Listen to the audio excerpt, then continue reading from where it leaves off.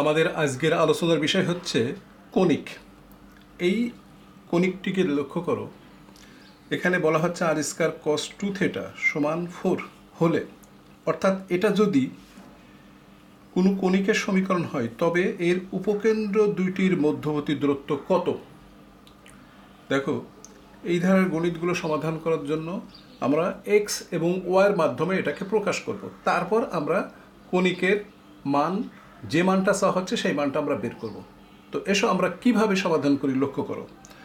এখানে দেখো আর স্কার আছে। আমরা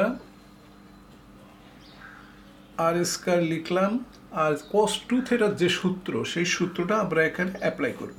দেখো কস টু থেটার সূত্র হচ্ছে cos square theta minus sine square theta সমান ফোর। এখন দেখো এই আর দিয়ে আমরা গুণ করে দেবো। তাহলে আমরা পাচ্ছি R square cos square theta minus R square sine square theta. সমান সমান ফোর। এরপর R cos theta whole square minus R sine theta whole square সমান ফোর এর মান আমরা অবশ্যই আমরা জানি যে এটাকে এক্স বলা হয় আর এটাকে ওয়াই বলা হয়। তাহলে আমাদের বিষয়টা চলে আসছে X square minus Y square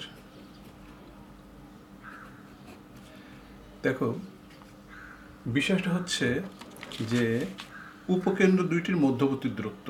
তো উপকেন্দ্র দুইটির মধ্যবর্তী দূরত্বর যে সূত্র, সেটা আমাকে আগে জানতে হবে।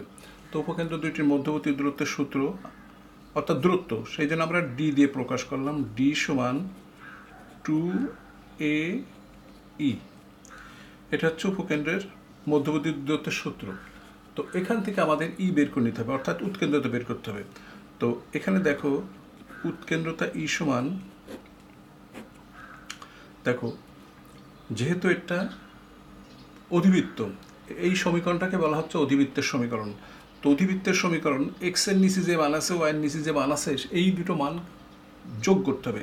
তো এক্স একটা জিনিস লক্ষ্য করো, এই যে ফোর আছে না, এই ফোর উৎকেন্দ্রতা বের করার জন্য এই ফোরের কোনো প্রয়োজন হয় না। অর্থাৎ এই ফোরের কোনো উৎকেন্দ্রতা বের করতে হলে এই ফোরের কোনো দরকার পড়ে না। তো এই ফোরটাকে আমরা অ্যাবসলিউট করে ফেললাম। তো এখন এর নিচে আছে ওয়ান ওয়ান প্লাস ওয়ান ওয়াইয়ের হর হর হচ্ছে ওয়ান এক্স স্কোয়ারে হর হচ্ছে ওয়ান সেই জন্য ওয়ান প্লাস ওয়ান আর এখানে সবসময় ধনাত্মক যে হর, সেই হরটা বসবে।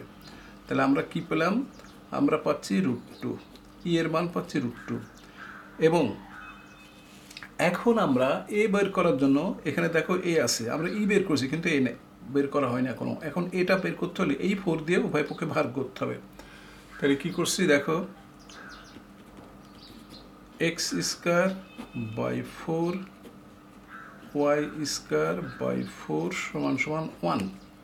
এখন এ স্কোয়ার, এটা হচ্ছে এই স্কোয়ার, এখানে এই স্কোয়ার সমান ফোর, অতএব এ সমান হচ্ছে টু। তো এই মান দুটো দেখো, ই এর মান, ই এর মান এবং এর মান আমরা এই সূত্রে বসিয়ে দেবো। অতএব আমাদের উপকেন্দ্রদের মধ্যবর্তী দূরত্ব ডি সমান টু এ ই সূত্র। তারপর দেখো টু এ ই এখন টু এর মান হচ্ছে টু আর এর মান হচ্ছে রুট টু। তাহলে আমরা পাচ্ছি ফোর রুট টু। এটা হচ্ছে উপকেন্দ্র দুইটির মধ্যবর্তী দূরত্ব। দেখো, উপকেন্দ্র দুইটির মধ্যবর্তী সূত্র মান বের করে আমরা বসিয়ে ফেললাম। এরপর আমরা দুই নম্বর অঙ্ক চলে যাই। দুই নম্বর অঙ্কটা দেখো। এখানে দুই নম্বর অঙ্ক নিয়ে আসা হয়েছে। দেখো দুই নম্বর অঙ্কটা। তো দুই নম্বর অঙ্ক বলা হচ্ছে যে R sine pi by three plus theta সমান ফোর হলে, অর্থাৎ যদি এটা একটা সরলরেখা সমীকরণ হয়, তবে ওই রেখাদ্বয়ের ওই রেখাদ্বয়ের সাথে, ওই রেখা অক্ষদ্বয়ের সাথে, দেখো ওই রেখা অক্ষদ্বয়ের সাথে যে ক্ষেত্রফল তৈরি করবে তার মান কত? তো এখন আমরা এই মানটাকে আমরা এক্স ওয়ার মাধ্যমে প্রকাশ করব। তো কীভাবে প্রকাশ করতে হবে দেখো? আর সাইন থেটার যে সূত্র, সেই সূত্র আমরা ফেলে দিচ্ছি। Sine pi by three cos theta plus sine theta cos pi by three দেখো কস পাই বাই থ্রি সমান সমান ফোর এখন আমরা সাইন পাই বাই থ্রি মানে সাইন ষাট ডিগ্রি। সাইন ষাট ডিগ্রি মান পাচ্ছি কত? রুট থ্রি বাই টু এখানে কস থাকবে।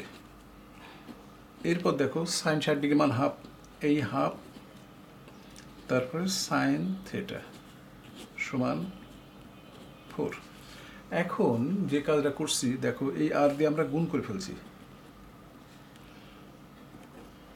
Root three by two R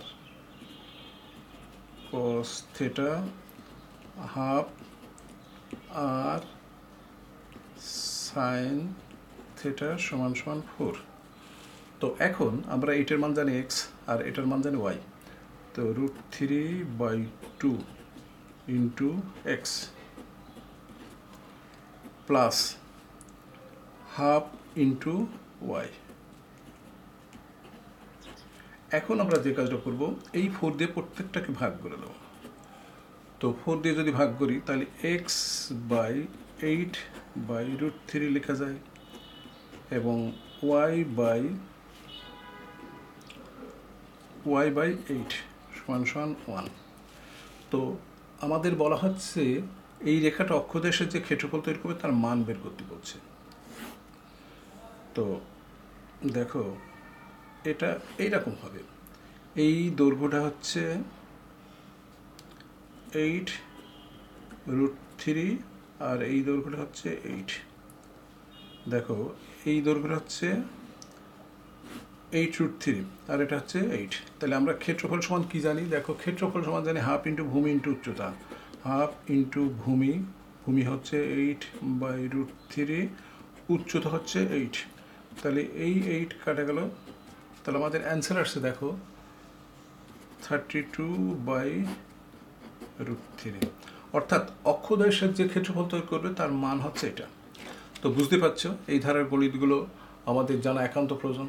কারণ আমি যত বেশি অঙ্ক শিখব বা জানব, তত বেশি আমি ভালো পরীক্ষা দিতে পারব ভর্তি পরীক্ষায়।